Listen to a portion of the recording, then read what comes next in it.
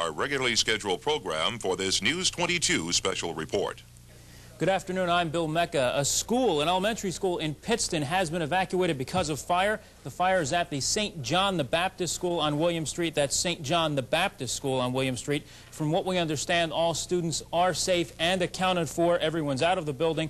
The big problem right now is traffic tie-ups in the downtown area, and that will be added to that problem because there's no buses, so parents are going to have to go to the church yard and pick up the students. There will be no buses. Again, all the students are safe out of the building.